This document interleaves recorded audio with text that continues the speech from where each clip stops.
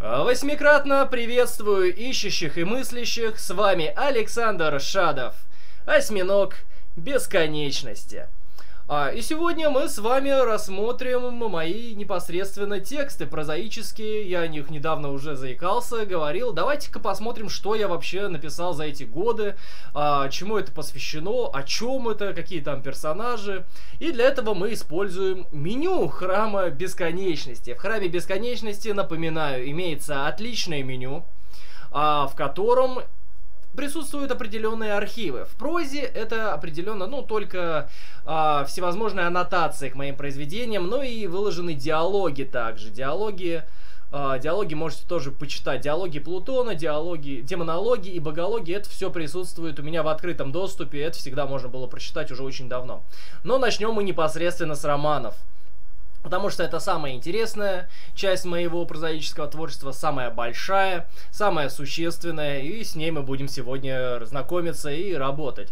Напоминаю, что я пишу преимущественно в жанре философской фантастики. Ну, поскольку это, с одной стороны, соотносится с моей специальностью, с другой стороны, соотносится с моим философским учением, а, ну, с другой стороны, такой жанр, мне кажется, наиболее приемлемым, и я бы сам такие книжки бы с удовольствием бы читал. Если бы я сам их не писал, я бы такие книжки с удовольствием читал бы залпом. А, да. Ну и вот, как вы можете заметить, в 2010 по 2015 год там будет всего-то 10 романов. Всего-то 10 романов, скажете, да, за 5 лет. Не густо. На самом деле густо. Для многих людей это густо. А почему этот период выделен? Потому что вот там 10 романов как раз. А дальше идут 2016, 2017, 2018 и 2019 годы, в каждом из которых я написал около 10 романов за каждый, за один год, да, непосредственно. Многие могут подумать, ну, что это за графомания, откуда столько вообще романов, зачем их столько писать, и, а, наверное, какая-нибудь ерунда там написана. Ну, давайте попробуем разобраться, ерунда или не ерунда. Ну и непосредственно я расскажу вам о них не только для того, чтобы просто похвастаться, а хотелось бы их когда-нибудь издать, заинтересовать публику, а, чтобы кто-нибудь там помог мне с редактированием, например, романов, а, или что ну, кто-нибудь подкинул деньги на редактирование, издание и так далее, и так далее, и так далее. Почти любой роман можно издать или прочитать, попросить меня, ну, с ошибками, конечно, он будет. Причем первые романы 2010-2015 год, там еще и со стилистическими ошибками в большом таком размере, я тогда еще стиль не нащупал свой, ну... В общем, надеюсь, со временем вы совсем познакомитесь непосредственно. Смотрим. А, романы по 2000, 2010 по 2015 годы. Ну, как видите, я уже, да, десятилетие целое творю. А, первый называется Альфа и Омега, второй Демоническая Академия, третий На краю Вселенной, четвертый Сновидение, пятый Семь миров, шестой Зоя, а, седьмой Артократия, восьмой Стихию, девятый Этикон, десятый Диасиента и одиннадцатый Гибель Вселенной. А, обращу заранее ваше внимание на то, что у меня, такой, у меня такая стилистическая фишка присутствует. Я некоторые романы делаю суммами романов предыдущих. То есть, например, «Гибель вселенной» — это как раз даже логическое завершение вот этих вот всех предыдущих романов, и оно завершает 2015 год, так скажем. И вот первый этап, можно сказать, моего творчества. «Гибель вселенной» — это та, такая вот, такой роман, в котором объединяется все, что было раньше. Там присутствует э, планета из Альфа и Омеги, а, мир Риада, Риада город там вроде как называется, ну неважно. Демоническая Академия присутствует на краю вселенной, и персонажи всех вот этих вот романов там так или иначе представлены. То есть это первая сумма романов. Потом будут другие, побольше. Начнем с самого первого романа. Это Альфа и Омега. Жанр философская фантастика. В нем я непосредственно и начал писать свои произведения, и это мне очень понравилось. А, Объем 20 авторских листов. Это, поверьте мне, достаточно много. Это, ну, это связано прежде всего с тем, что я писал тогда крайне объемно. Это роман действительно очень толстый. Он, по-моему, даже 22 авторских листа был до правок. Я там вырезал много разных моментов, таких философских э, вступлений, которые, в принципе, ну, не нужны, к сожалению, оказались. А, да, этот роман написан стилистически не очень хорошо, но это первое произведение, которое, в общем-то, определило развитие а, всего грядущего, над чем я буду работать. А, да, такое лирическое вступление мы с вами прошли. Смотрим дальше. О чем этот роман? А, так вот, он рассказывает о споре двух богов, Альфы и Омеги. А притом это не просто боги, это такие своеобразные сингулярности. Они не имеют определенных тел, пространственных таких распределений. А они существуют в сжатом состоянии.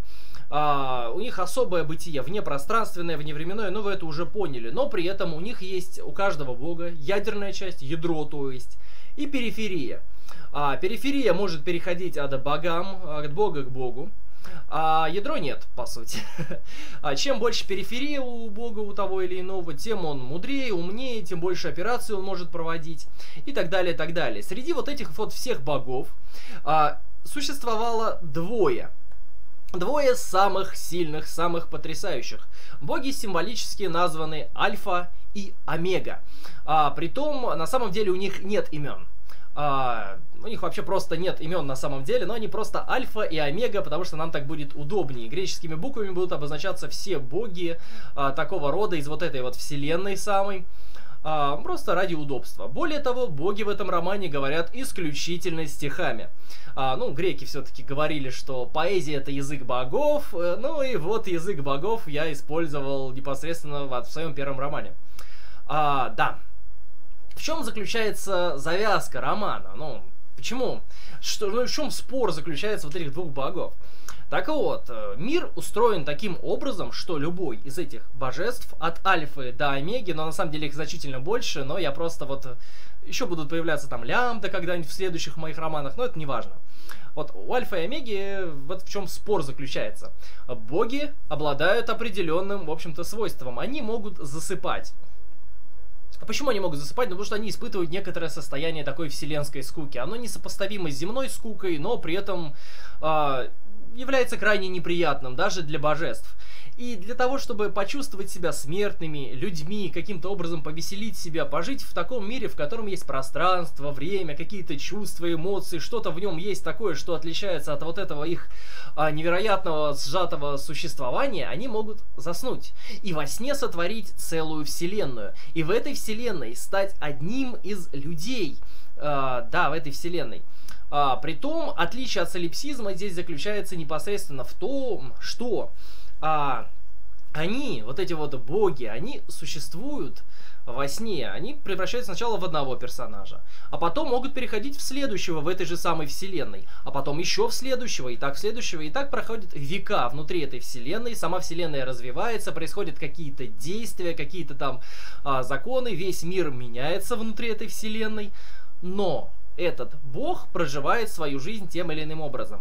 А, так вот, Омега один из тех богов, которые не любят спать. А Альфа, наоборот, он любитель как следует выспаться, погрузиться, в общем-то, вот эту человеческую сущность, и не только человеческую, вероятно, но будут разобраны люди в данном случае. человеческую сущность погрузиться и почувствовать себя обычным, обычным существом. Ну и вот, погружается Альфа в сон много раз. А, и в итоге Омега приходит к нему и говорит, что в этом сне Альфа ты достигнешь э, наконец-то истины, ты узнаешь, что существуем мы, боги, альфа и омега.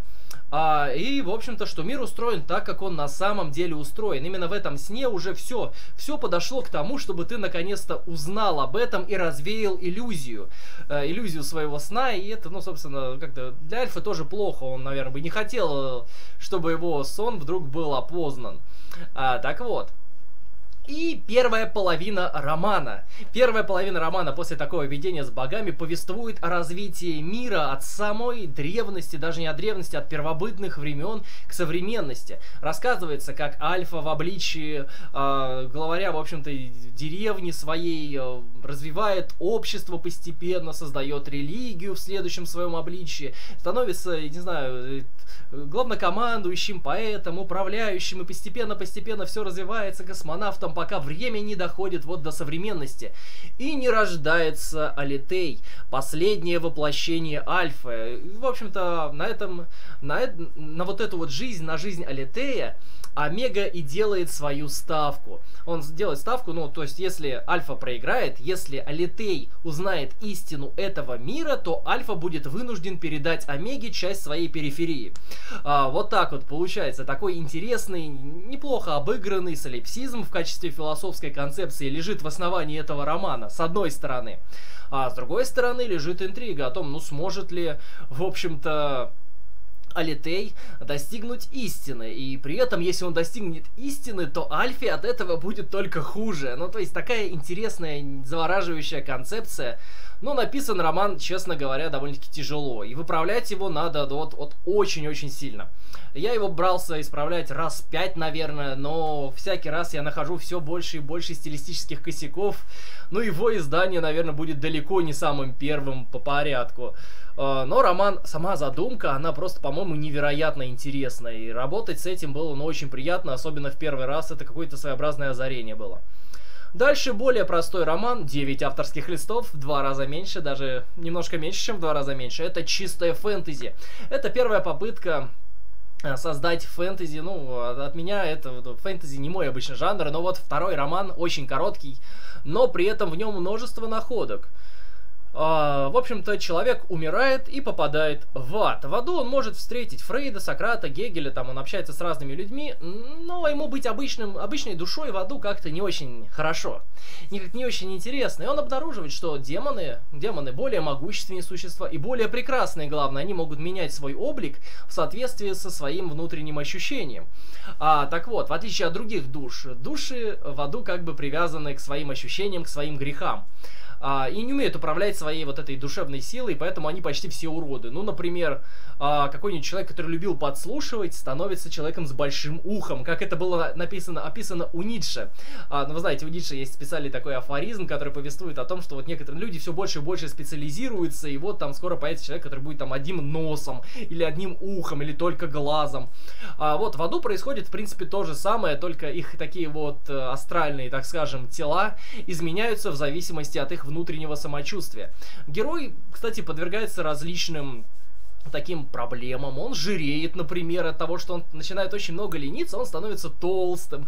И все, все это подвластно, он как бы становится подвластен своим состоянием, ему это не нравится, и он пытается вырваться из этого. Так вот, а, наш герой пытается поступить а, в демоническую академию по этому поводу. Он обретает определ... он учится пользоваться демонической силой. А, а демоническая сила, она в данном романе работает на базе воображения. То есть вам нужно откинуть, вам нужно, во-первых, поверить в то, что вы это сделаете. Это раз, потому что не все души верят и поэтому не могут это сделать. А во-вторых, вообразить. А, да. При этом наш герой, он один из немногих демонов, для которому для воображения нужно обязательно закрыть глаза. Только закрытыми глазами он хорошо воображает. А, при этом очень тяжело сражаться с другими демонами, кстати, когда у тебя закрыты глаза. Для этого ему приходится развивать определенное зрение. Ну, в итоге, в общем, он попадает в демоническую академию, постепенно там учится, связывается там с Уфиром, тоже известным демоном. Ну, вы можете тоже про Уфира прочитать. Но в этом же аду, в общем, Уфир начинает революцию против сатаны, Люцифера и Мефистофеля Аристотеля, которая в данном романе представлена как определенная триада. Олицетворение трех голов сатаны у Данте написано, ну, не только, нет, я, скорее всего, когда это писал, не то самое подразумевал, ну, просто их трое. Это просто три, как бы, разных демона в данном романе. И вот в длительной и бескомпромиссной борьбе вскрываются многочисленные тайны ада. Это действительно новое поколение, на мой взгляд, фэнтезийной литературы. Оно подвижное, оно интересное. Философии здесь, кстати, значительно меньше. Это просто такой вот переходный роман к более таким серьезным работам. Он мне пригодился, пригодился на ранних этапах, и это действительно классно. Следующее мое произведение, третий роман, «На краю вселенной». Философская фантастика, снова философская фантастика, но даже ближе, наверное, научная фантастика. А, да, 14 и 5 авторских листов, это вполне так нормально. Все мои романы в последующем по, по большему счету будут от, э, занимать от 10 авторских листов до 15. А, написан в 2012 году. Ну, скорее всего, кстати, нет. Здесь я уже на обум многие цифры ставил, потому что я разметку долгие годы не делал. А, место действия. Земля в недалеком будущем. Край вселенной. Земля... Э, да, Земля в далеком будущем. Несколько мест действия. Тобиас Фридман, молодой лауреат Нобелевской премии в области физики, вместе со своей семьей, лучшим другом и командой специалистов отправляется к недавно обнаруженному краю Вселенной. То есть, оказывается, есть край Вселенной, представляете себе? А, да. Спасибо, Анастасия, за похвалу романа. Я рад, что ты, кстати, с нами. Приветствую. Так вот, а, у нас есть определенный край вселенной, оказывается. И вот он был обнаружен, и Тобиусу приходится уговорить а, своего приятеля, друга и прекрасного пилота, просто талантливого пилота Льюиса Гранта, который сейчас на самом деле управлял там подводной лодкой, и он очень такой вздорный, старый, такой злой, озлобленный дед. А, он, он отличный пилот, но он злобный, злобный гадкий дед. Так, в общем, Тобиас Фридман уговаривает э, вот этого вот старика а, помочь ему и отправиться вместе с ним в космос. Непосредственно Тобиас был изобретателем того самого двигателя, который позволяет за мгновение преодолевать огромные расстояния и отправиться непосредственно на край вселенной. Герои отправляются туда. Оказывается, что край вселенной, ну, пожирает все, что выходит за его пределы. Э, и поэтому, ну, герои, ну, решают возвращаться. Что им там делать? Просто это какая-то уничтожающая снаружи черная дыра, которая все в себя поглощает и не выпускает назад. А, да. Но они возвращаются на Земле, оказывается, проходит два века.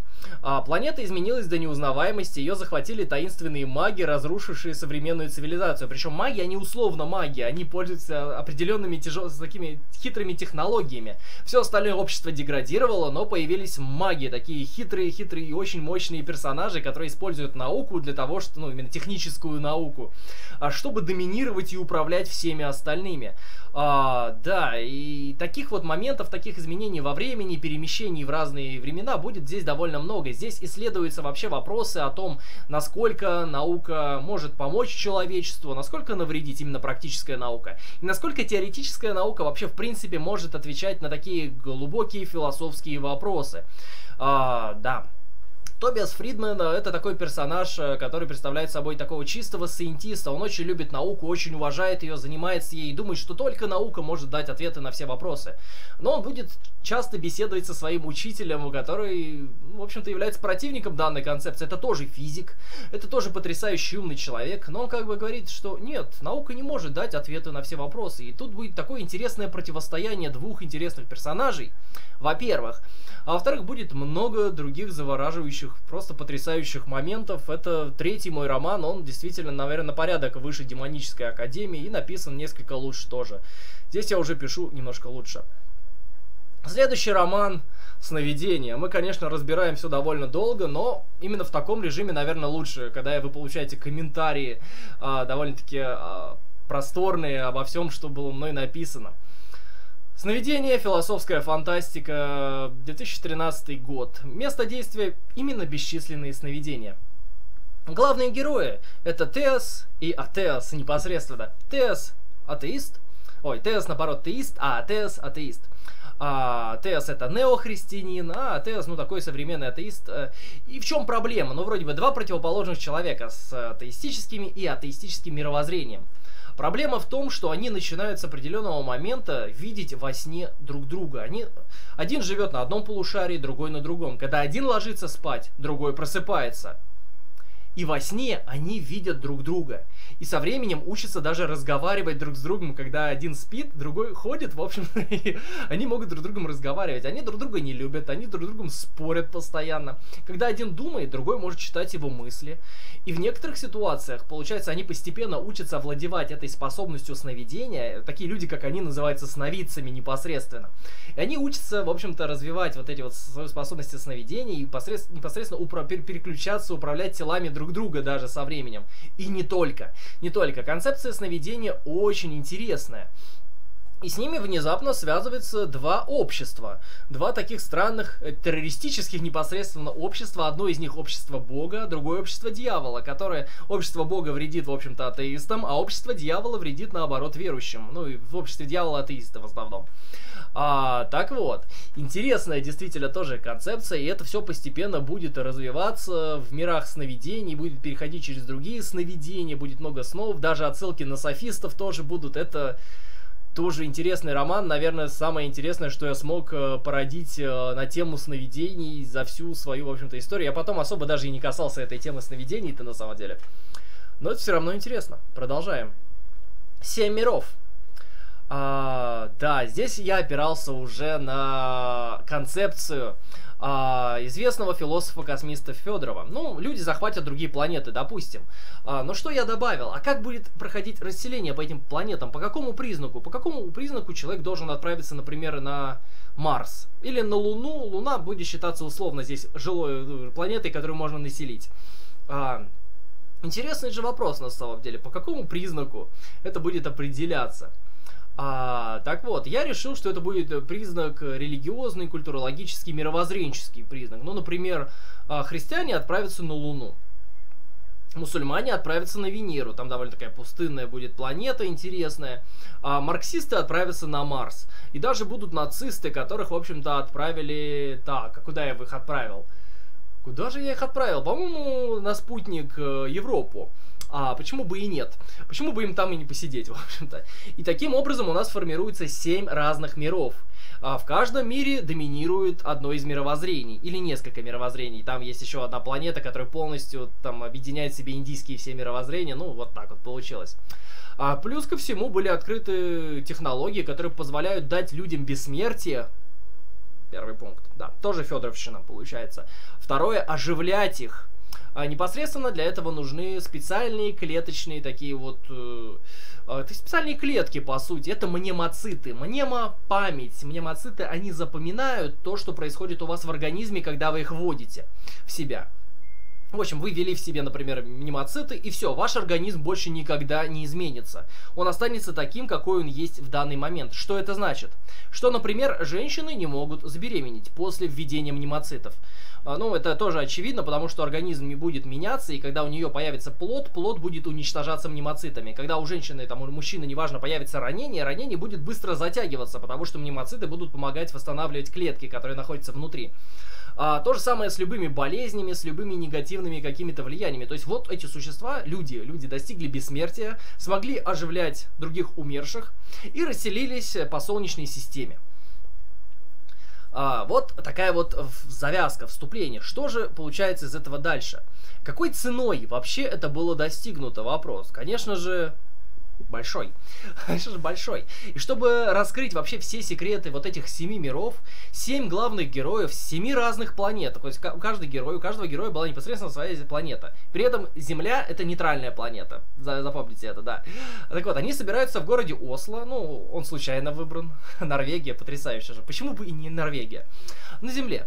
А, да, они при странных обстоятельствах все были изгнаны и были вынуждены покинуть свою планету. Они нашли друг друга в интернете и пожелали встретиться лично. И в итоге рассказали друг другу свои полные истории о том, что произошло там у них такого странного, замечательного. В итоге наши герои их, их ловят и отправляют на Плутон, где их для своих опытов ожидает доктор Менгеле, один из самых главных антагонистов данного романа. Ну, то есть, если всех можно оживить, почему бы не оживить легендарного доктора Менгеле? Я это сделал. А, так, что же их ждет далее, как это все будет развиваться? Семь миров это первый мой манифест в прозе плюрализма. О том, как все разные представители разных мировоззрений могут взаимодействовать друг с другом, могут слушать друг друга, могут понимать друг друга и могут объединиться против общей беды. А, в общем-то, интересный роман, написан в 2014 году. Продолжаем. Зоя. Это второй мой роман в жанре фэнтези. Э, ну, давайте я не буду здесь подробно рассказывать, у нас времени все-таки не так много, я хочу в час хотя бы уложиться со всеми романами, а мы только на шестом. Так вот. А, я создал специальную планету, там куча разных существ, куча разных растений, герои путешествуют в особом мире, в специальном, отдельном, предназначенном только для них. Чистая фантастика, там всяких монстров они убирают, убивают. Звучит туповато на самом деле. А, на планете Зои очень много могучих чудовищ, более того, здесь постоянно идут войны. А, да, герои становятся охотниками непосредственно за чудовищами, вот этими вот. А, но написано это, замечаю, вот в 2014, когда я про Ведьмака даже, например, не знал. И они охотятся не так, как Ведьмак, так что здесь тоже все так нормально. А, команда движется по всем крупным населенным пунктам, изучает их в том числе, и в итоге оказывается в сердце Зои, ну, то есть материк, который находится в, самом, в самой середине планеты. А, что здесь вообще можно сказать? Это такое стандартное приключение, наверное, тоже проходной роман, без какой-то сильной философской идеи. Я здесь опирался больше на создание мира, создание большого, потрясающего, интересного мира с интересными более-менее персонажами, отличающимися друг от друга. Ну, такая легкая литература. У меня бывает, когда я пишу легкую литературу. Не всегда же вам, в общем-то, 7 миров давать, а вот давайте что-нибудь что полегче. Вот есть э, Зоя. Это даже предтеча будущей серии Array, можно сказать, где я даже уже все это начал прорабатывать еще, еще тоньше, еще интереснее, но до Array мы постепенно дойдем. Э, Зоя хорошее произведение непосредственно, но не мое самое любимое, конечно. Артократия. Артократия, жанр утопия. Я же должен был написать что-то в жанре утопии. Зачем я пишу десятками романа, если я не написал ни одной утопии? Шесть авторских листов, очень мало, очень маленький роман. Место действия, с одной стороны, Санкт-Петербург, э, ну, поскольку оно происходит в настоящем э, часть действия, а вторая часть действия это Скепта, столица артократического мира. Артократия – роман в жанре утопия. Описание общества будущего в данном произведении строится на ортодоксологической политической теории, подчеркивающей плюрализм мнений – то есть это мир, в котором существуют люди с разными мировоззрениями, и эта разница, вот это вот э, наличие разных мировоззрений, оно поддерживается. Люди, кстати, сегрегируются друг от друга в рамках городов, разделяются друг от друга по принципу своих мировоззрений. А, они могут переходить из городов в города, но это все регулируется государством. Это не так, как у Анкапа, в общем. это, это артократия, это государство непосредственно. Это государство, которое регулирует плюрализм и многогранность. Это такая мое, мое раннее такое интересное представление о том, что могло бы получиться, если действительно на весь мир воплотить мою вот концепцию философскую в том числе. Как, что получилось, если политически ее организовать. И в этом обществе живут пять наших главных героев. А, они живут в одном доме, в коммуналке, и постепенно их жизнь будет, в общем-то, описываться в данном произведении. Один из них, кстати, является частью правительства автократии. А, такого скрытого правительства, которого, ну, никто не знает, кто правит автократией просто на самом деле, кроме вот некоторых людей. А, такое скрытое интересное правительство, мир плюрализма, мир э, различий, мир, где все мировоззрения имеют место и наоборот даже культивируются. Артократия. Хороший маленький роман, интересный. Стихио. Вот, вот моя первая серия началась. Непосредственно серия романов. Роман Стихио. А, все место действия происходит на планете Прокаталипсе. И там есть такой небольшой материк, э, находящийся а, на северо, э, западе карты. Да. 13 а, авторских листов. Порядковый номер 8, 2015 год. Так вот, так вот, э, главный философский вопрос на материке стихиев, вы не поверите, это вопрос о первоэлементах. От ответа на этот вопрос зависит и этика, и практика человека. Соответственно, на этом материке имеется колоссальное количество представителей а, различных школ мысли, которые отвечают на этот вопрос. Что же является первоэлементом? Огонь, вода, земля, воздух, металл, камень, железо, вино, золото, мышцы, ну как это было у Анаксагора, там одна из гомемерий, это мышцы, и так далее, так далее, так далее. Предложены многочисленные варианты возможных стихий с одной стороны, которые уже существовали в истории, с другой стороны я добавил ряд своих. И также бережно перекомбинировал все возможные варианты, чтобы получились просто многогранные всевозможные, в общем-то, учения. А главный персонаж это Орстил, наемник, э, придерживающийся философии стекла. Он верит, что весь мир состоит из стекла э, такого метафизического онтологического стекла. Он отправляется вместе со студенческой экспедицией в Квинтэссенцию, столицу стихию. Он собирается убить Софию. Ну, его цель убить Софию непосредственно, но для королевы этого материка. А преподаватель главный Кайн Майн, который не собирается, конечно же, убить Софию, а, он верит в философию чернил э, и верит, что все мнения можно записать. Как раз из-за того, что он верит в философию чернил, он очень хочет записать все возможные позиции. Он составляет большой, так, большой сборник, в котором собраны все философские воззрения материка Стихио. И вот такая вот интересная команда, Кай, Кай Майнд, его студенты и Орстил, наемник, который их защищает, отправляются в Квинтэссенцию, где они могут встретить, где они встретятся непосредственно с самой мудрой женщиной за всю историю их мира, с Софией.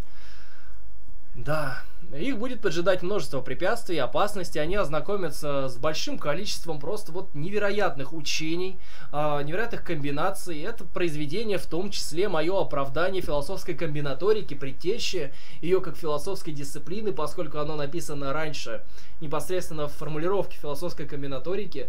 Вот вам пример того, как можно мыслить э, в прозе в том числе, как проза может помочь, помочь в мысли, как может продвинуть философскую мысль дальше, и как поможет развить всевозможные философские концепты. Продолжаем смотреть, что у нас здесь получается. Этикон, следующий роман из той же серии, потому что место действия все та же планета Прокаталипсе. А, на планете Прокаталипсе когда-то также существовал материк Этикон. Он побольше, чем Стихио, кстати. Карты вы можете тоже ознакомиться, посмотреть. У меня они вроде есть а, а, в группе. Так вот, а, там главным философским вопросом является вопрос этический. И там, на этом материке, есть множество государств.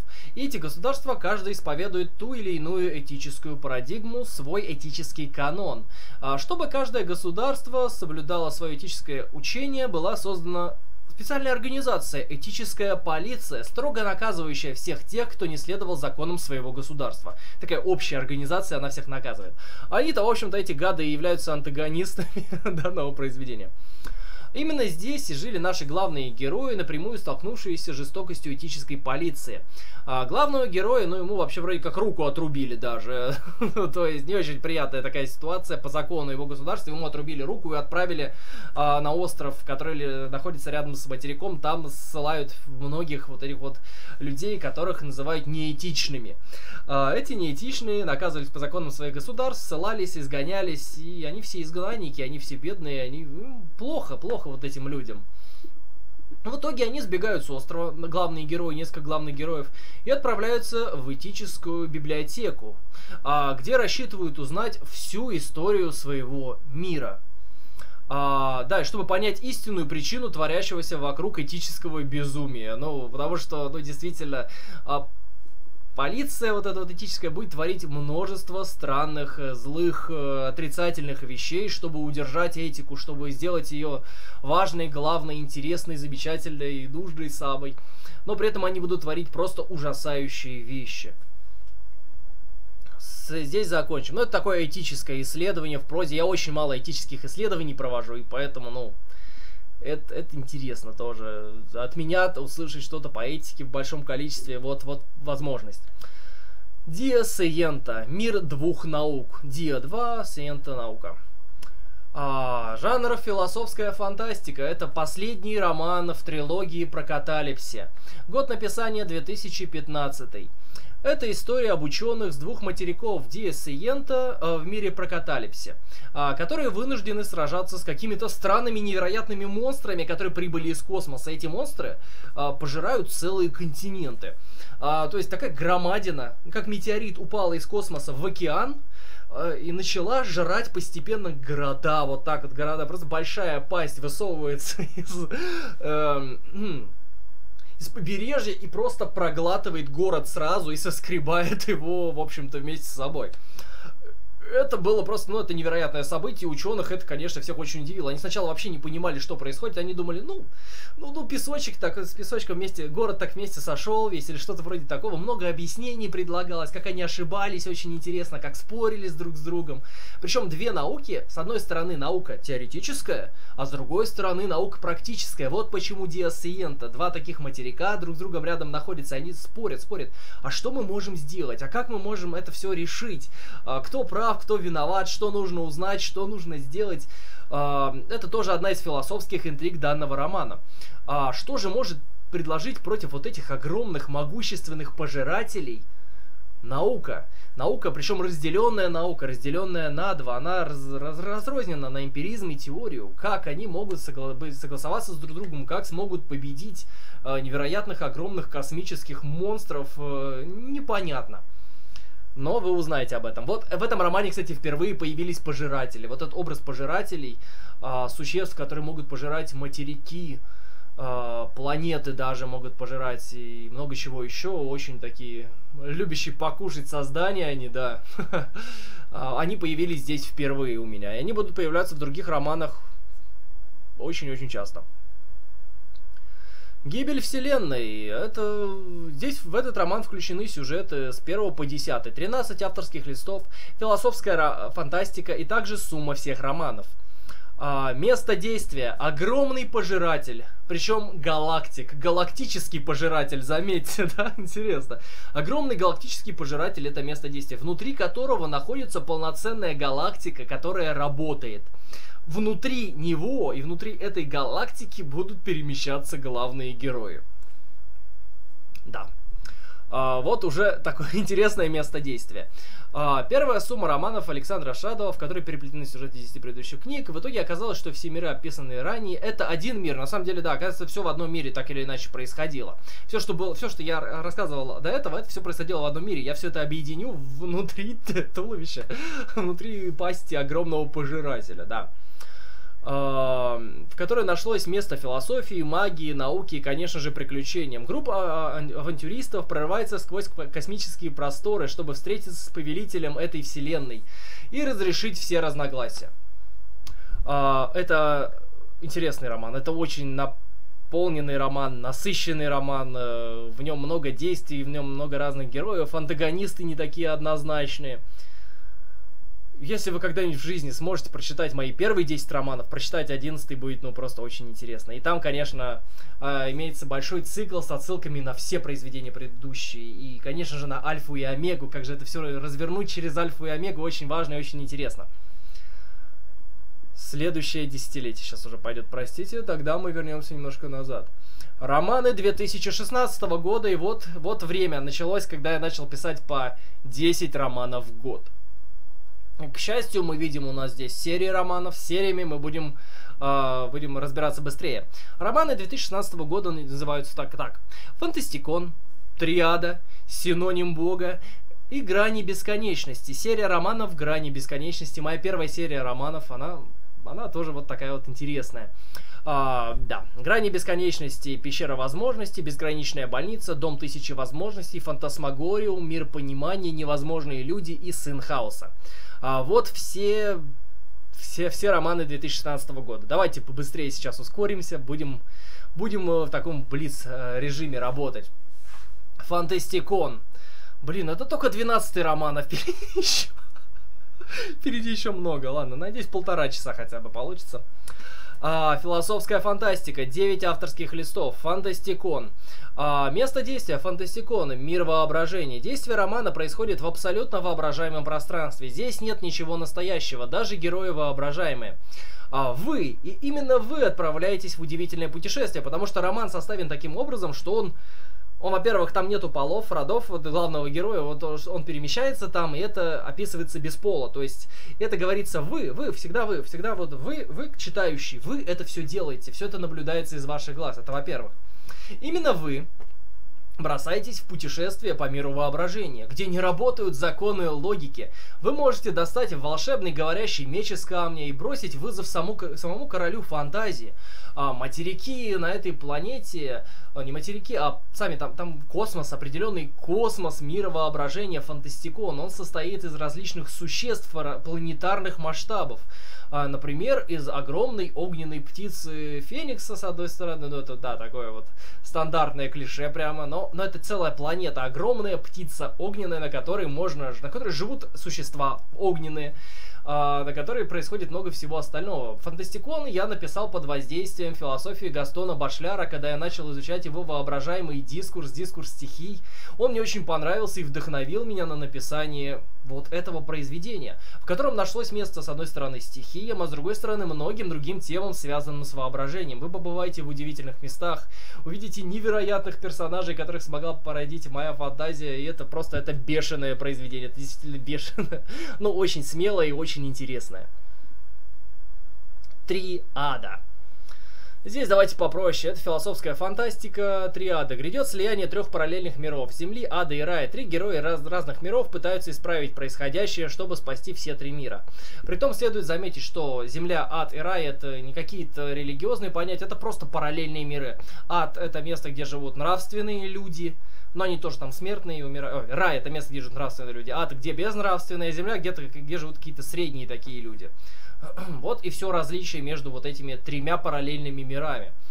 А, и герои, все герои, три героя, это просто один и тот же человек, просто в разных параллельных мирах получается. Ну, то есть это три разных героя в трех разных мирах, но они имеют одну и ту же внешность. Это как бы один и тот же человек, ну, они будут перемещаться в миры друг друга, э, из земли в ад, из ада на землю, и будут взаимодействовать с друзьями тоже друг другу и так далее, и так далее, и так далее. Э, продолжаем. Синоним Бога. А, так вот, один человек внезапно получил силу Бога. Брюс всемогущий практически, но здесь все будет с точки зрения философии, здесь будет очень серьезное исследование. Так что же будет делать этот человек?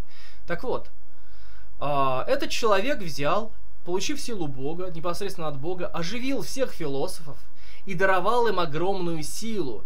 А, которая соответствует их философии, например. Ничего себе он поступил, конечно. Не только философов, много кого оживил. Монстров, мифических всяких существ. И также даровал жителям Земли возможность загадать по три желания каждому, в том числе обрести какую-то невероятную могущественную силу. Главные герои, которые пытаются бросить вызов синониму Бога, э, они пожелали обрести определенную силу. Например, главный герой может управлять возможностями.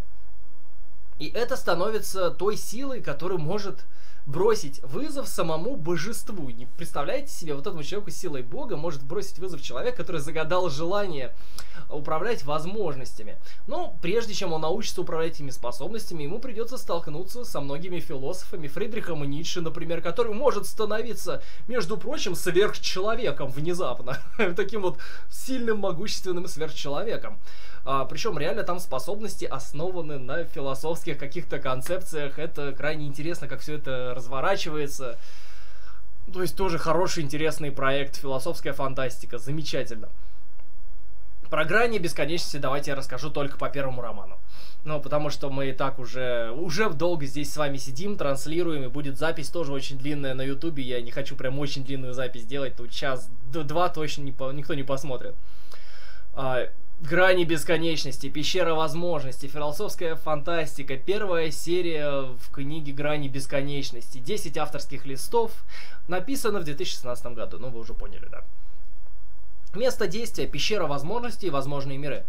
А, да, да, да, да, так, между, рассказывает о путешествиях между возможными мирами, не параллельными, какими-то именно возможные миры, коих имеется бесконечное количество. Данная серия книг, ну здесь я очень халявно описал, ну не все же аннотации должны быть проработаны идеально, да? А так вот, главный герой попадает в пещеру. Неожиданно, ну, там происходит событие, которое приводит его в такую странную пещеру, в которой прикована некая вселенская сущность. Эта вселенская сущность называется возможностью. И ее в этой пещере специальными цепями приковала актуальность. Главный противник возможности. Ну, конечно же, актуальность, главный противник возможности. Актуально это то, что сбылось, то, что существует сейчас, то, что возникло. А возможность это то, что могло бы быть. И эта вселенская сущность, она прикована но при этом у нее есть э, способность э, перемещать вот эту вот пещеру, в которой она находится, в разные миры. Да, и, конечно же, она предлагает герою возможность перемещаться в эти вот эти вот миры странные, миры возможностей. Эх, э, и герой берет с собой некоторых своих знакомых, э, свою сестру, и, в общем-то, да, соглашается, соглашается перемещаться.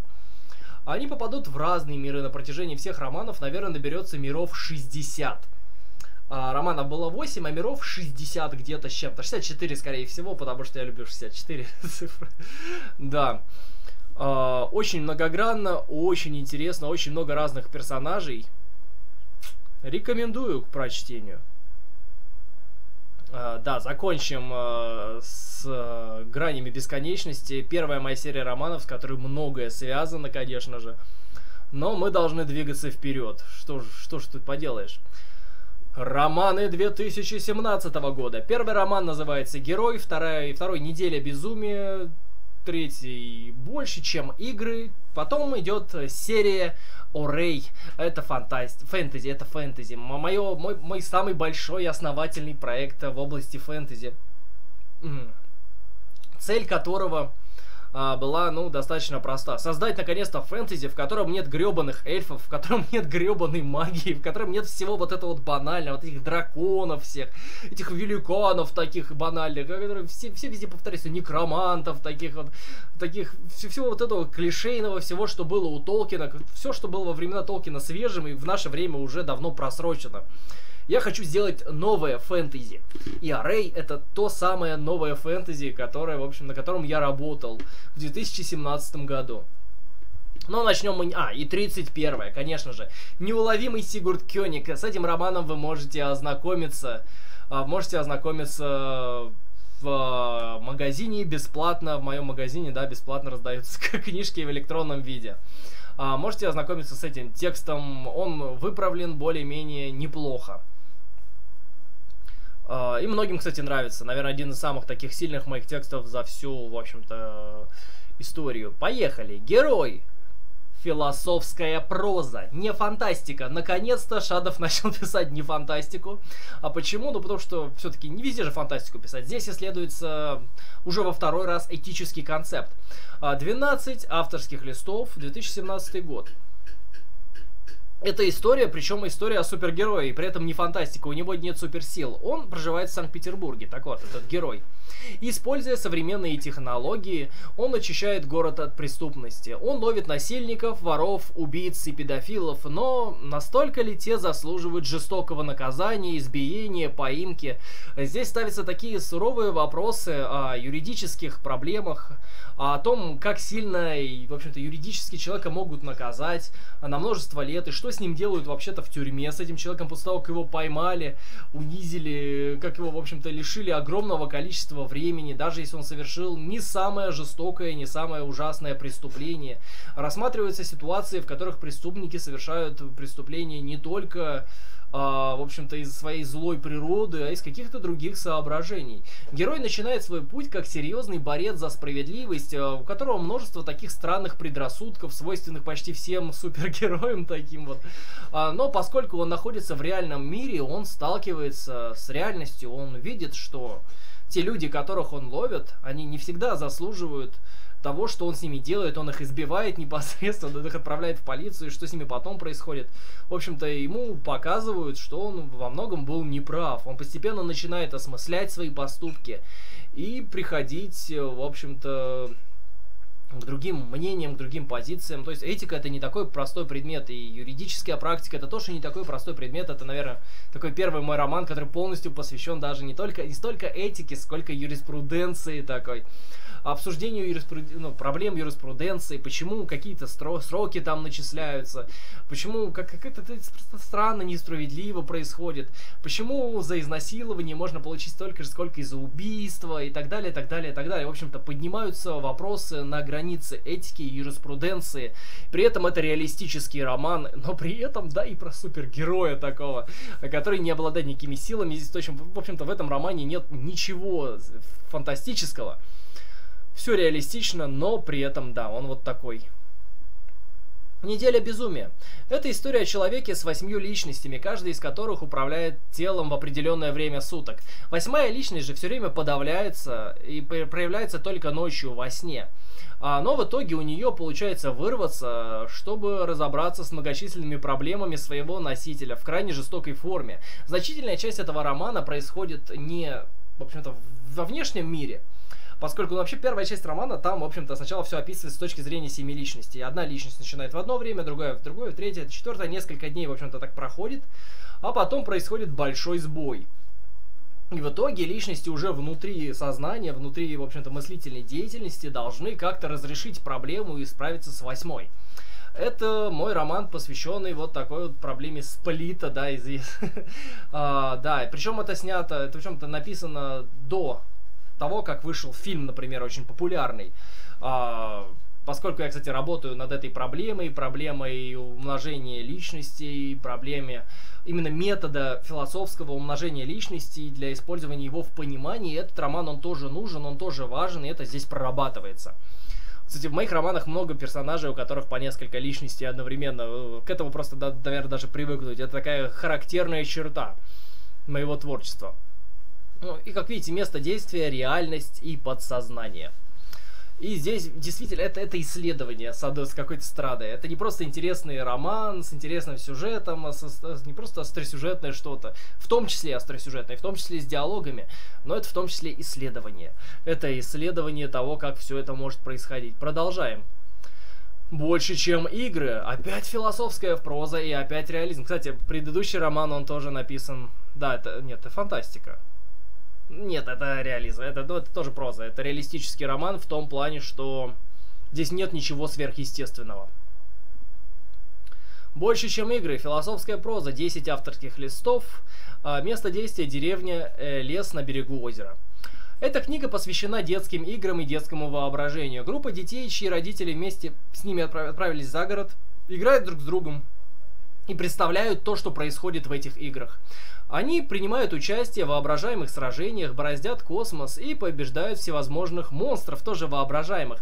Только вот воображаемый мир, в котором они неоспоримые герои, не соотносится с миром реальным, в котором у детей множество проблем с их родителями. А, да, это тоже роман реалистический, но так получается, что проводя его через тему воображения, а, мы получаем чистую фантастику. Дети воображают в то, что они играют. Они играют в космических пиратов, в героев, в каких-нибудь магов, колдунов. Да во что они только не играют. У них много различных игр, много тематических игр и много различных событий, которые с этими играми связаны. А, все очень хорошо прописано, и при, при том каждый ребенок а, отчасти воображает все по-своему, и на это иногда акцентируется внимание. И при всем этом это получается вот такой приключенческий э, роман, поскольку в их воображении происходит некое приключение. А, опять же, остросюжетность в этом романе встречается, и все вообще элементы, которые есть в моих предыдущих романах, в том числе философские, они в этом романе присутствуют, но во многом благодаря воображению, потому что мир, который творят эти дети, он не существует на самом деле, поэтому роман реалистический но при этом он прописывается так, как будто бы он существует, потому что они видят его так, как будто бы он существует. Это тоже очень интересный 24-й мой роман. Арей. Создана целая громадная планета. Э, планета Арей, она большая, она разделена на две части большим ледяным кольцом а, темный арей, на котором все начинается, и светлый арей, до которого герои доберутся только в двух последних романах, как бы. а, да. На темном арее все начинается в темном арее. А, в Академии гибридов. Гибриды это... Кстати, во, во многом я написал это произведение после того, как я поиграл в третьего Ведьмака. Мне очень понравилась концепция, и я решил поработать именно над гибридизацией в том числе, и создать свой уникальный мир при этом.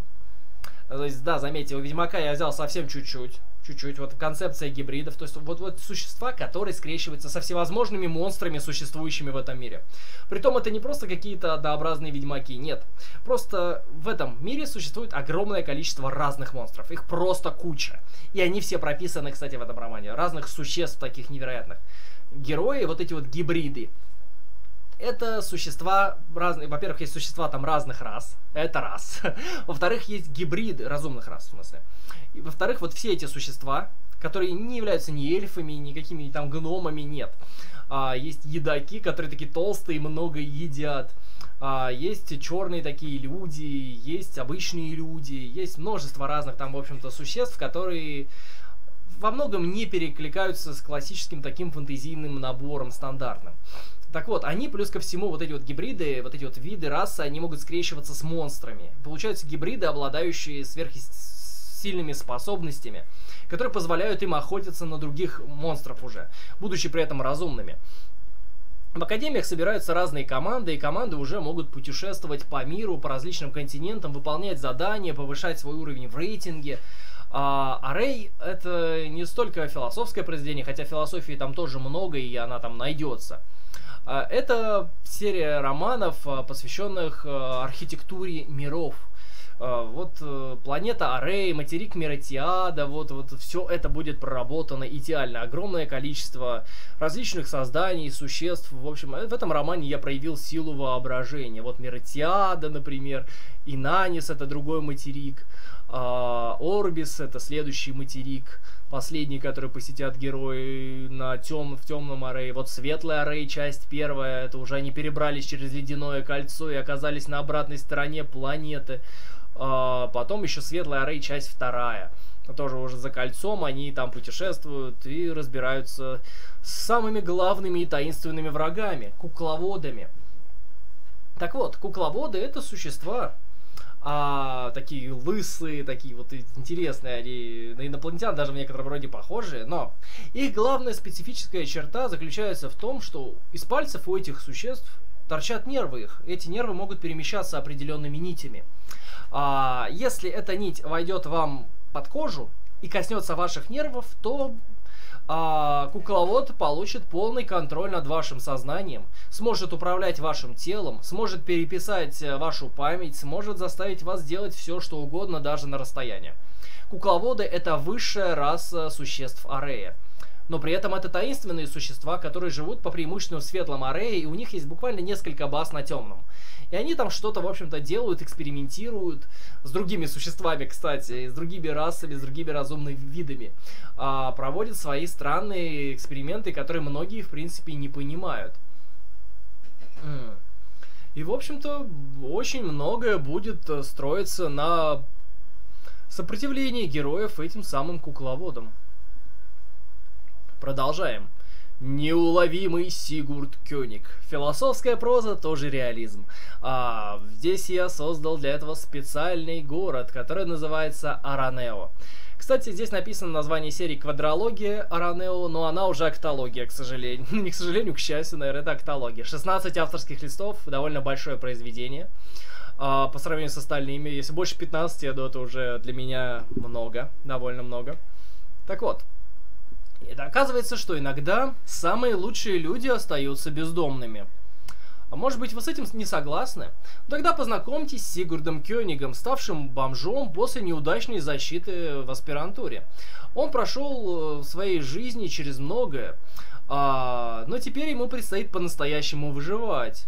А, ведь охоту на него объявил озлобленный чиновник Корольков из города Аранео, непосредственно злой русский толстый, гадкий, мерзкий чиновник, такой вот антагонист. А, по несчастливой случайности Сигурд стал свидетелем того, как политик убивает человека.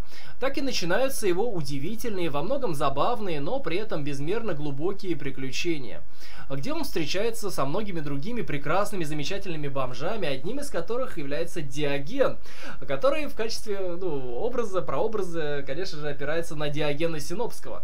И этот человек будет делать все то же самое, что делал Диоген. Но это чтобы вы поняли уже уровень романа, уровень его персонажей и проработки. А, да. И не только они. А, также там будут банда поэтов, также списанных современных известных поэтов. Это роман смешной, забавный, философский. Будет много философских бесед, будет много рассуждений, а, будет много проблем и будет много такой вот интересной несправедливости, которая случается с порой замечательнейшими людьми. Ах. Да, кстати, я думал, что я стану бомжом. Просто. Плюс ко всему, да, это тоже забавно. Вот мы продолжаем дальше. Перемещаемся к романам 2018 года. Мы, наверное, через полчаса закончим с этим видео, с большим.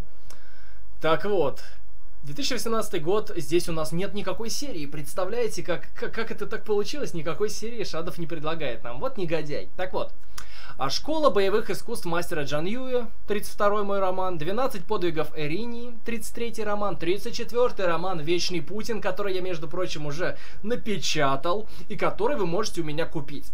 А 35 роман Дар разубеждения Авроры Кук, 36 роман Слияние. В 36 романе происходит слияние всех предыдущих романов, включая первые 11.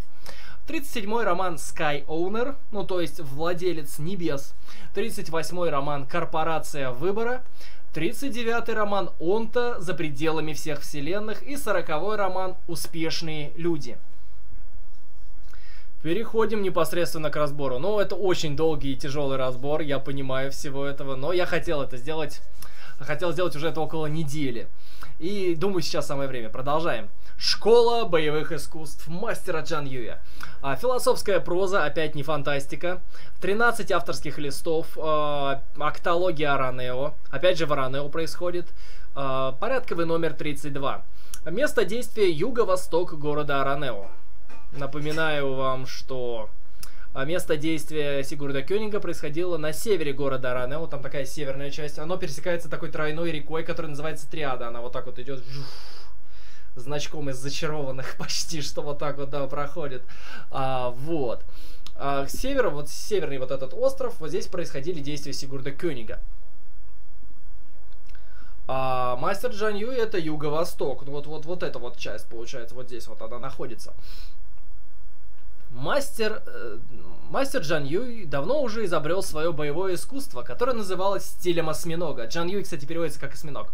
А, с китайского, ну, вроде как. Надеюсь, что Google переводчик меня не обманул. А, ему с какой-то стороны повезло, ведь чиновник Корольков убил его отца. Кстати, это приквел. Приквел к Сигурду Кёнигу, да с которым тот уже давно не общался. Поскольку отец Джан Юя был достаточно богат, то нашему герою досталось огромное наследство, которое он потратил на то, чтобы открыть свою школу боевых искусств. Удивительный мастер быстро смог набрать себе учеников, ведь он обладал невероятной силой и умениями, которыми хотел поделиться с другими. К сожалению, многие ему завидовали, что привело к различным конфликтам. Также над его школой нависла тень отца и сына Корольковых.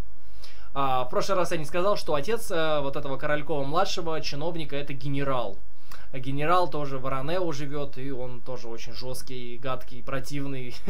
и может направить на любого своего противника армию целую. вот. Джан Юй это определенно философское произведение, это философия боевых искусств, искусства, боевого искусства стиля осьминога в том числе. Это рассказ о мастерстве, это рассказ о философии, это рассказ о контроле над своим мышлением, которое может быть достигнуто непосредственно, в общем-то, благодаря... Так, непосредственно благодаря своим старанием, усилием. Но Джан Юй, он сам по себе талант, но он воспитает огромное количество э, важных э, героев, персонажей, которые потом окажут э, огромное влияние на актологию Аранео. А, то есть к, к этому тексту возвращаться я буду периодически, чтобы вспоминать Джан Юя в следующих своих произведениях, поэтому это один из таких важнейших романов, включая Сигурда Кёнига, которому я тоже буду так, так вот отсылать постоянно вот в этих романах из октологии Аранео. 12, 12, 12 подвигов Иринии, 12 авторских листов, философская проза. Эриния стремится отомстить генералу Королькову и грязным чиновникам, из-за которых погиб ее возлюбленный и повсеместно страдают люди. Снарядившись а, в лучшую экипировку, девушка бросает вызов правительству Аранео, убивая гнусного политика один за другим, чтобы в итоге добраться до со злого генерала, которого она ненавидит больше всего на свете. Ничто не может ее остановить, если уж справедливость это право сильного, как считают враги Эринии, а, то она все делает правильно и принесет смерть тем, кто разрушил ее жизнь. Это не история мести, это вальс жестокости, это симфония ужаса, это целый водопад, сочащийся из всех сторон крови. Я просто должен был это написать, потому что, ну, это воображение это выглядело, ну, просто изумительно. Это прям взрыв мозга, который, ну, который я просто не мог написать. Я вряд ли издам этот роман, он очень запретный, он прям секретный, секретный роман. А, она решила пройти через ад и взять на себя высшую ответственность за свои поступки, чтобы спасти всех остальных людей. Фух, это очень жесткий роман. Следующий роман помягче. Это известный многим Вечный Путин. Только 34-й роман. Философская сатира. Как видите, я впервые написал философскую сатиру и сразу же ее издал. И я думаю, я сделал большую ошибку, что издал именно этот роман. Но в чем же дело? Место действия – Российская Федерация. Роман «Вечный Путин». Это смесь ядерной фантастики и комедии в твердом переплете. Действие начинается в 2033 году. Через 13 лет, да. У Владимира Владимировича имеется 7 клонов. Путин зюдаист, Путин олигарх, Путин тусовщик, Путин святой, Путин философ и Путин ученый. Всем им уготовано в далеком будущем решить судьбу человечества. Кроме того, а, Владимир Владимирович, один из его вот вашим клонов, Путин ученый, изобретает сыворотку бессмертия неожиданно. И оказывается, что Путин теперь будет жить вечно во всех своих ипостасях, которые полностью займут Думу. в общем-то, в общем, везде в правительстве будет Путин. Это роман про одного Путина. Здесь везде Путин. И это в с какой-то стороны, это тоже это прекрасно, это интересно, это гениально читать, где везде просто один и тот же персонаж. Это экранизировать было бы классно где просто один и тот же актер, очень похожий на Владимира Владимировича, а, играет, в общем-то, его в разных э, ролях э, тусовщика, олигарха, святого философа, ученого. Помимо Путина и его клонов, в книге вы обнаружите других известных персонажей. Дмитрия Анатольевича Медведева, Усманова, две футбольные команды олигархов, Ольгу Бузову, Реву, конечно же, Дугина и Навального. Куда же без Навального? Это просто ядерная сатира. Это, это прочитать, это, ну, можно посмеяться, действительно. Я очень редко пишу произведения, которые нужны только для юмора. А, только для юмора. Но она, она не только для юмора. Там еще есть философия, там есть Дугин, который признается в чем-то интересном.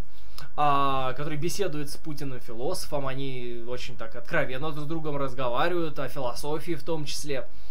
А, то есть есть такие философские моменты, есть много смешных моментов и очень много дикостей, таких, которые вот прямо, ну, взрывают мозг. Хорошее произведение, не лучшее мое произведение, но хорошее. В нем присутствуют все основные, в общем-то, элементы моего творчества. В любом случае, да, прочитать вы это можете в любой момент, если захотите. Дар разубеждения Авроры Кук. Философская фантастика. 9 авторских листов. Э, год написания 2018. Место действия неизвестный город. В обычном городке... Э, так, сейчас подождите. Э, в обычном городке появляется странное космическое какое-то создание. Э, которое называет себя убеждением. Оно дарует двум разным людям небывалую мистическую силу. Аврора Кук получает способность разубеждать людей. Она может убрать любое убеждение у своего оппонента, у своего друга. Например, он убежден друг какой-нибудь, что он там толстый. И все. Щелчок, до свидания. Он больше не имеет этого убеждения. А другой человек это писатель, неудачник э, Одиссей Миллер.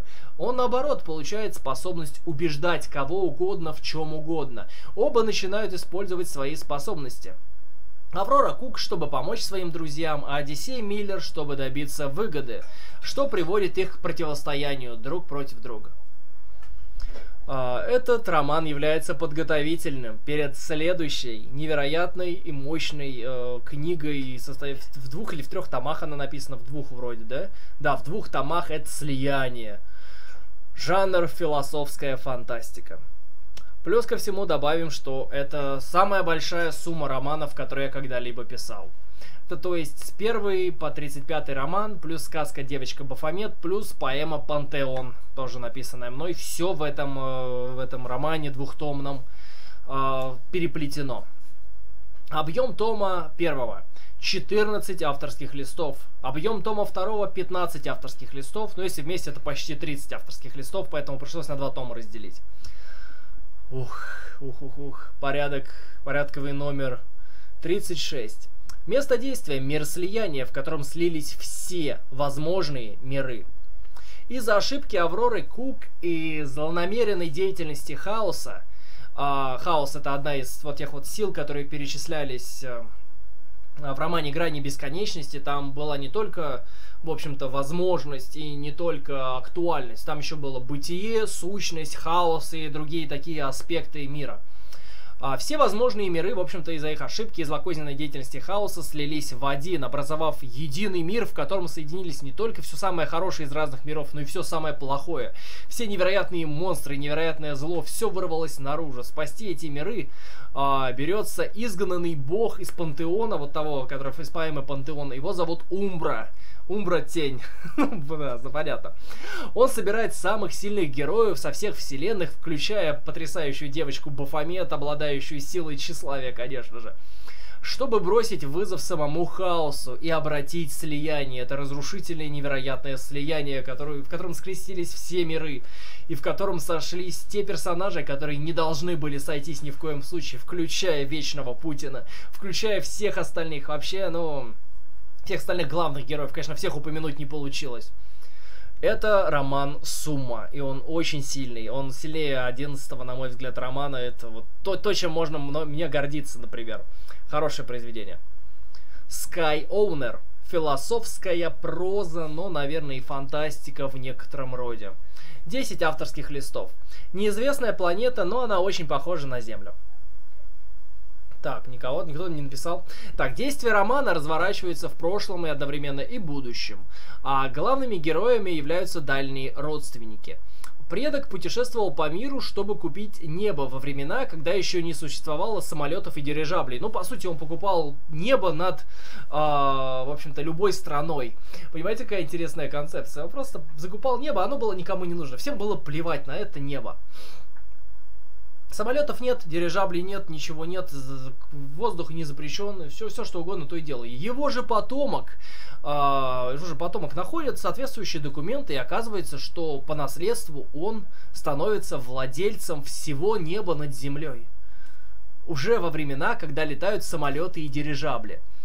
Да, его потомок пользуется этой властью и отправляется в кругосветное приключение, чтобы подтвердить перед всеми государями свой статус властелина неба и стать самым богатым человеком на планете при этом. В общем-то, да, раскрывается такая вот э, история о том, как человек с мечтой купить небо отправляется с одной стороны по всему миру, а другой человек уже в будущем пользуется его плодами. Тоже очень интересная задумка, мне тоже нравится, это хороший роман. Ну, он не самый сильный. А вот здесь начинается нечто. Это корпорация выбора. Философская проза, фантастика, 14 авторских листов, это полный вынос мозга. А главный герой является испытуемым корпорации выбора. У него, у него нет имени, у него просто номер. Я даже не помню, какой номер, но без разницы. А работники корпорации выполняют его волю и записывают результаты. Однако эксперимент этот не так уж и прост. С каждой главой герой все больше и больше подозревает своих благодетелей. Не актеры ли все они, э, вот эти вот люди? Не превышают ли работники корпорации рамки дозволенного? Законно ли вообще проводить такие эксперименты над людьми? И так далее, так далее, так далее. Но в чем дело? В чем вообще сущность этого романа заключается? В том, что и читатель, и главный герой становятся перед выбором. В каждой голове будет э, вилочка такая. М-м. То есть после первой главы мы можем пойти по одной ветви развития, потом по другой ветви развития. Получается две вторых главы. В третьей главе еще по две. Или по четыре иногда вроде бывает. Ну, неважно. Еще удвоение. Еще удвоение на следующей ступени. Итак, 8 глав. Есть место, где вилки соединяются, правда, одно, чтобы в итоге получилось 64 возможных концовки. 64 возможных концовки у этого романа. Вы можете прочитать его 64 возможными способами, по сути. Ну, там с вилками сложнее, но 64 возможных способа. Но суть вся заключается в том, чтобы прочитать весь этот роман полностью, ухватить все возможности. Можно в любом порядке, но лучше снизу вверх, конечно, наверное, потому что ну, тогда все интриги будут соблюдены. А, и в итоге понять всю историю, потому что все эти возможности, они едины. Ну, вы знаете, как это в играх обычно бывает. Ну, просто у нас есть возможность сделать то, возможность сделать это, а потом э, все либо приходит к одной концовке, либо просто никак не связано с друг с другом. Есть какое-то там кино, вот это вот э, на Netflix. Я его даже не смотрел, да. И я написал этот роман немножко раньше, чем оно вышло, даже не немножко раньше, на несколько месяцев раньше, ну неважно. А, дело-то заключается в том, что здесь все возможные варианты развития событий тесно переплетены друг с другом, и они все так или иначе завязаны в одной сюжетной линии. Это одна сюжетная линия вся. Когда вы все это прочитаете, у вас получится полный разворот этой истории большой, со всеми возможностями, со всеми нюансами, со всеми тонкостями.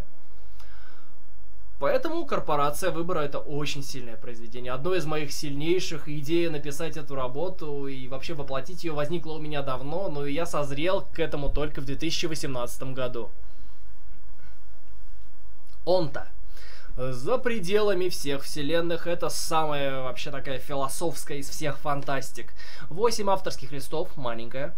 А, но, но очень эффектная. Он-то сферический мир за пределами всех вселенных, времени и пространства. Этот мир состоит полностью из хили. Хили это такая материя, материя, которая создана из маленьких сингулярностей различных вселенных, которые еще не взорвались, которые были не очень развиты, но в общем-то неважно. Каждая хили, вот эта вот материя такая, она состоит из сингулярности, представьте себе, интересно, да, уже? Это история, которая происходит в абсолютной пустоте, и главными ее героями являются бессмертные создания, то есть онтосы, живущие внутри этой самой сферы из Хили. А, да, и эта материя Хили, состоящая из вот этих вот сингулярностей, она полностью подчиняется им. Их нервные системы помещаются полностью в эту черную, мощную, непробиваемую, прочную материю, которой они могут управлять, полностью менять форму своего тела, менять э, даже форму планеты каким-то образом. Там, если они касаются Земли, они могут делать так, что из Земли что-то там появляется, из Хили, из этой самой, они тоже управляют. Так вот, Дейтимон, главный герой, он стал одним из них, теперь ему предстоит узнать, чем живут бессмертные и бесстрастные существа, вечно сомневающиеся создания, погруженные в бесконечную пустоту. Он-то это апофеоз такой скептической, с одной стороны, философии, когда имеются вечно живущие боги, но они при этом безразличные, они при этом во всем сомневаются и ни в чем не уверены. Это мир, с одной стороны, настоящего скептицизма, а с другой стороны, настоящего противостояния. Это мир запредельный, в котором мы встречаем не только людей, но и совершенно иных существ. Это совершенно иные существа. Они бессмертные, они мощные, они сильные. Это тоже философское исследование на грани абстракции, которое в итоге выльется в серию романов «Вселенная Омега». Успешные люди, мы опять возвращаемся в актологию Аранео, мы, мы рады здесь снова оказаться, конечно же. А, философская проза. 12 авторских листов. Э, Актология Аранео. Порядковый номер 40. Данное произведение описывает невероятный токсичный сбор одного инвалида-колясочника, которого зовут Эрнесто Гиара, а, который по счастливой случайности объединяет самых успешных людей в городе, не брезгающих заработать денег и пропиариться на недуге нуждающегося инвалида, бедного, да. А, в итоге замешанный бездарный а, военный писатель Георгий Лепин, а, поэтесса-проститутка Стефанида, бизнес-тренер Азат Веселов, а, агрессивная директриса а, Георгина Тюльпанова и многие другие герои. А, всем успешным людям Аранео противостоит таинственный убийца, который называет себя завистником. Ну, потому что все эти модные, пр прекрасные, замечательные люди любят называть своих противников завистниками. И этот довольно мощный и сильный убийца, когда-то бывший учеником известного Джан Юя, бросает э, вызов всем вот этим вот мошенникам, негодяям и подлецам, э, которые наживаются и, и самому Эрнесту Гиара непосредственно, потому что он тоже, по сути, становится постепенно злодеем, который наживается, который обманывает людей. И вот завистник, завистник борется с такими, э, в общем-то, созданиями. А, вот. Поэтому этот роман, кстати, называется «Успешные люди». Он посвящен прежде всего им, но и завистнику. А конец у этого произведения, по-моему, очень замечательный. Очень замечательный. И здесь впервые появляется легендарная личность, э, которая в, моем, в моих романах тоже очень хорошо так выглядит. Это Геродот. Это не тот самый Геродот, конечно. это не тот самый Геродот. Это человек, имеющий то же самое имя, что и у Геродота. Это тоже бомж, как и Сигурд Кёник, но при этом инженер, изобретатель, э, боец, борец. Очень хорошо технически и физически оснащенный человек, который тоже бросит вызов, кстати, завистнику. У него, механич... у него нет рук, у него нет ног, у него механические протезы на ногах и руках, которые позволяют ему даже отбивать пули. А при этом ученик э, Джан Юю, мастера боевых искусств, тоже должен будет бросить ему вызов. Это и действие, это и философия, это и юмор здесь, кстати, тоже есть такой, но вы как видите уже по описанию, юмор жесткий, сатиры здесь присутствует. А, и, соответственно, как и во многих других романах, связанных с Ранео, будет твориться такое реалистическое безумие. Читать рекомендую, конечно же. А вот и оно. Вот и оно, но мы оно рассмотрим чуть позже. Романы 2019 года. Серия романов «Вселенная Омега», Тысячеспиральная галактика, первый роман. Линейная галактика, второй роман. Электромагнитная галактика, третий роман. Мозаичатая галактика, четвертый роман. А, живая галактика, третий роман. Зеркальная галактика, шестой роман. И скрытая галактика, седьмой роман. Фух, э, в этой серии романов э, мы с вами окажемся во вселенной Омега, уникальном фантастическом философском эксперименте, в котором автор занимается построением целой собственной вселенной, включающей в себя огромное количество галактик и планет. На протяжении всего путешествия герои посетят 7 галактик и 56 планет. Уже заявка такая неплохая. Характерные черты вселенной Омега. Вообще нет людей.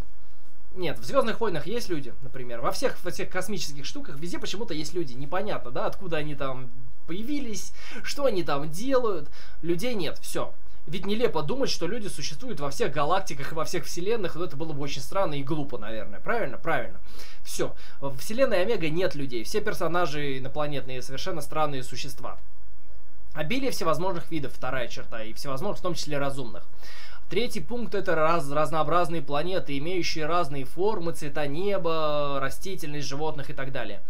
А, четвертый пункт это многочисленные культуры с разной философией, что тоже также характерно для Вселенной Омега. У каждой планеты своя доминирующая раса, свой доминирующий вид. Этот доминирующий вид имеет ту или иную доминирующую культуру или философию. Все это тоже разбирается, рассматривается.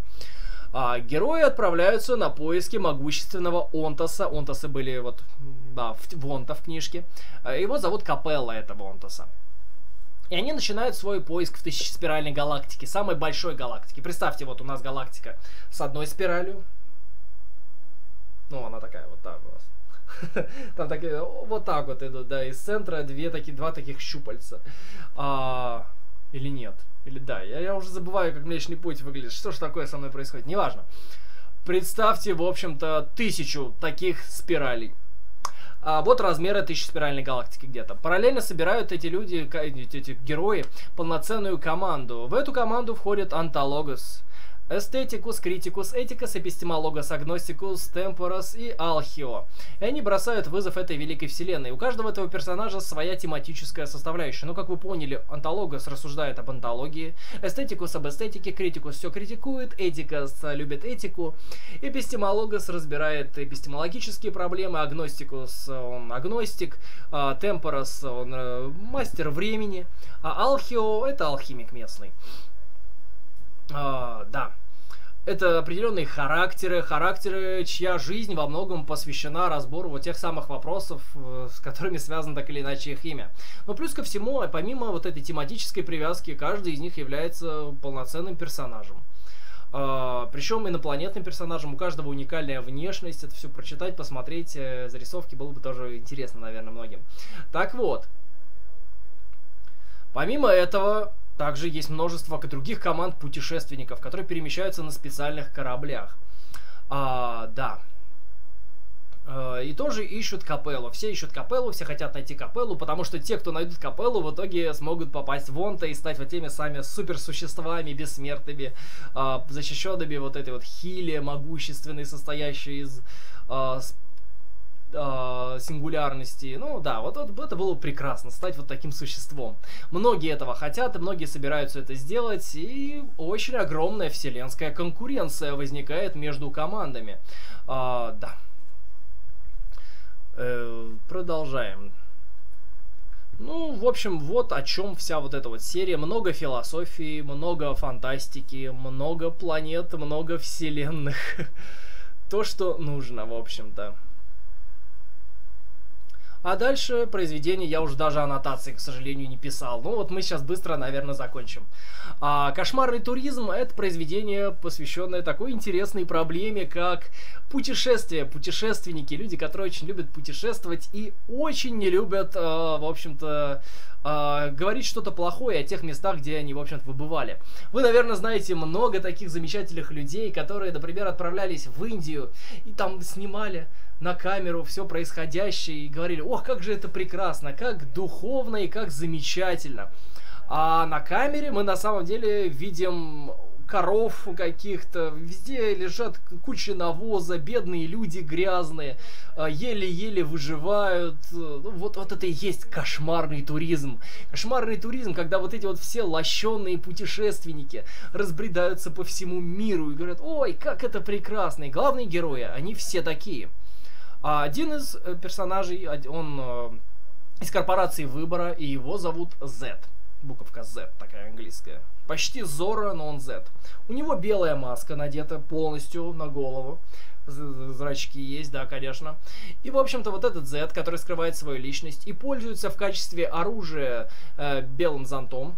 Зонтом, и там у него кинжал, в общем-то, находится. А, да.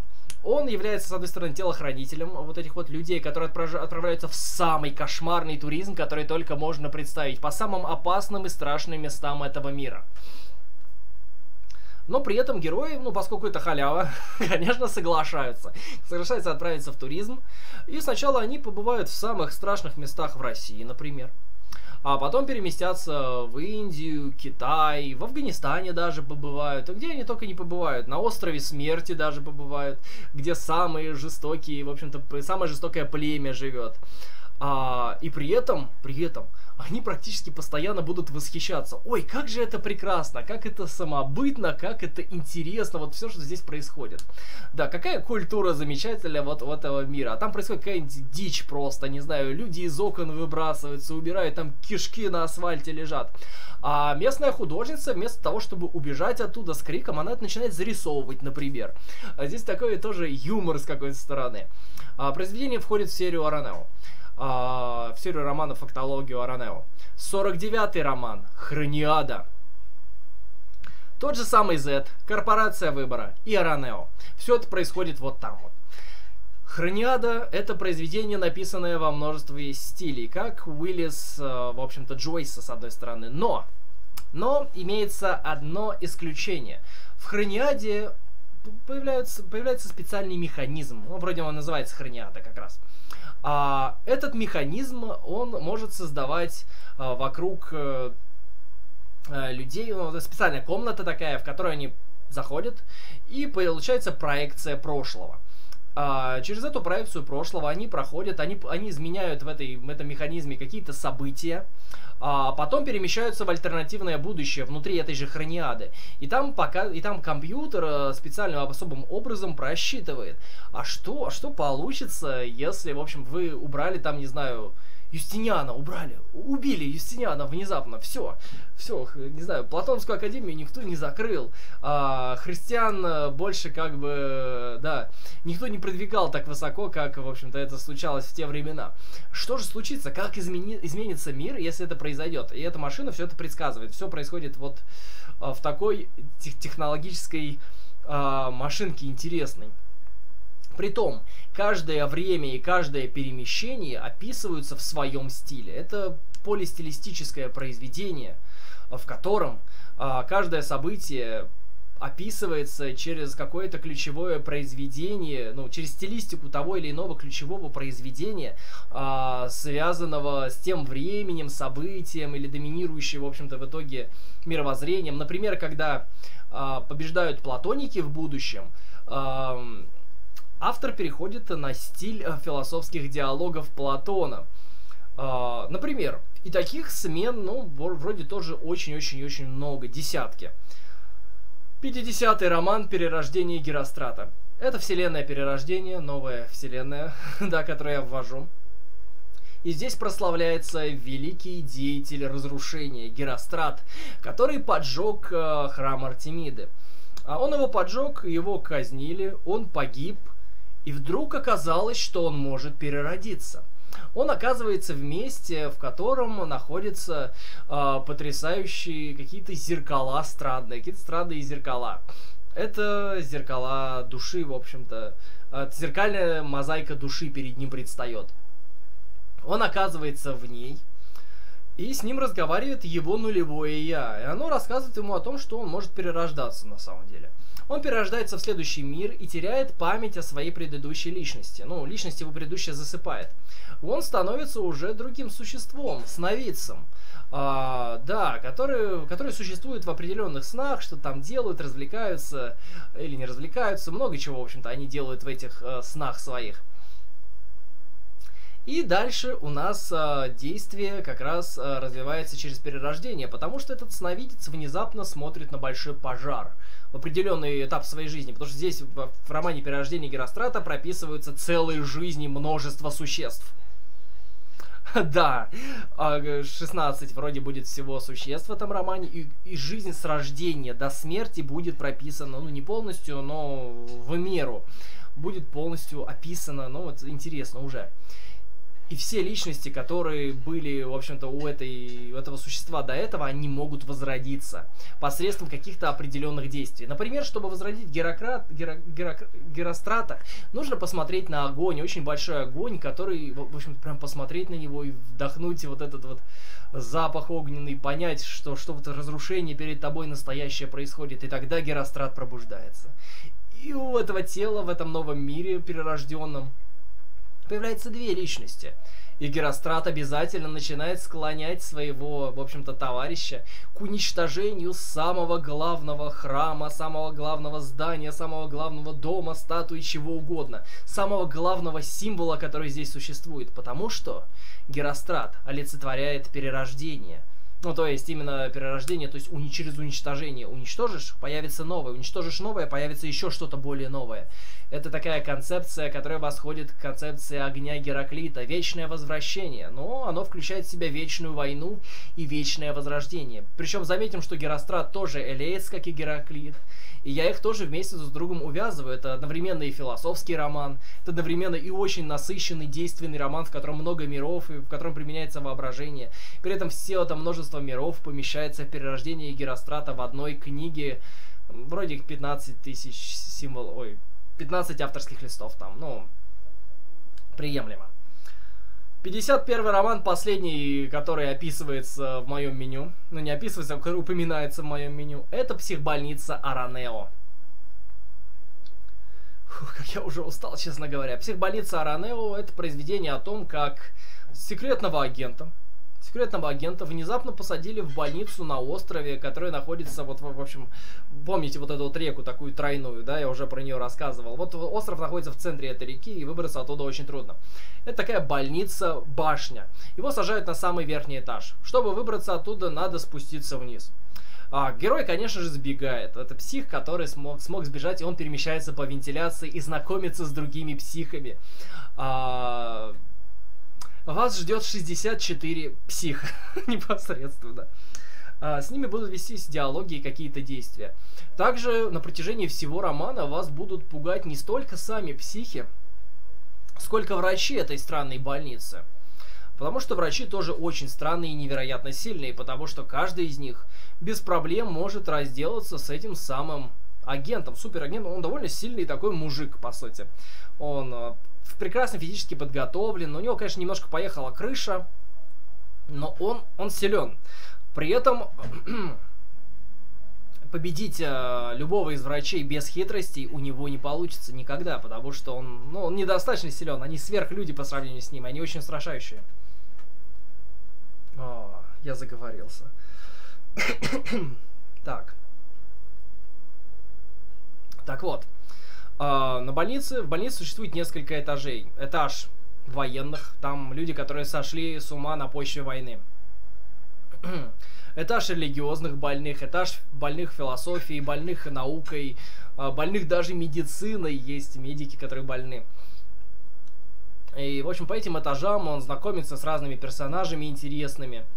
И вот так вот, в общем-то, происходит его продвижение. Больше всего он, конечно, хочет выбраться из этой психбольницы, покинуть ее, освободиться. Очень интересное произведение, которое завершает актологию Аранео. Так. Ну, в принципе, что? Давайте я хотя бы упомяну то, над чем я сейчас работаю, и мы закончим первое видео, которое я хотел записать. Это только первое видео.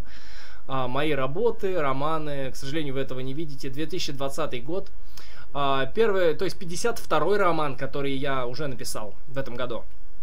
Называется Эвалия де Нихилия Когита. Это про девочку-эволюцию. Это девочка инопланетная, которая появилась на Земле еще до того, как э, возникла на ней жизнь. И именно эта девочка обладала способностью создавать эту жизнь, заставлять ее эволюционировать, развиваться. Именно она была следствием того, что происходила непосредственно эволюция. Вот такая вот она интересная девочка. А, вместе с Эвалией вы пройдете через все этапы эволюции, через все, в общем-то, вот эти вот, знаете, да, вот эти вот разделения на разные эры, эпохи, через все вы пройдете. Познакомитесь со многими довольно-таки известными многим, конечно же, существами, как она их создавала, как они взаимодействовали, как они вымирали. А, все это в интересном фантастическом романе Эвалия де Нихилия Когита. И сейчас я работаю над большой серией романов, которая называется «Время и пространство». Наверное, про нее ничего рассказывать не буду, и когда ее закончу, у меня будет уже 59 книг. Фух. Ладно, все, сейчас 30 4 минуты. Восьмикратно прощаюсь со зрителями Ютуба, со зрителями Твича. Я думаю, мы сейчас еще встретимся. Ну, то есть, трансляция продолжается, вы не уходите. Сейчас будет э, финальный ролик, и, в общем-то, я потом вернусь после финального ролика. Запись э, уже будет сделана тогда. Восьмикратно прощаюсь э, со зрителями Ютуба. Скоро вернусь.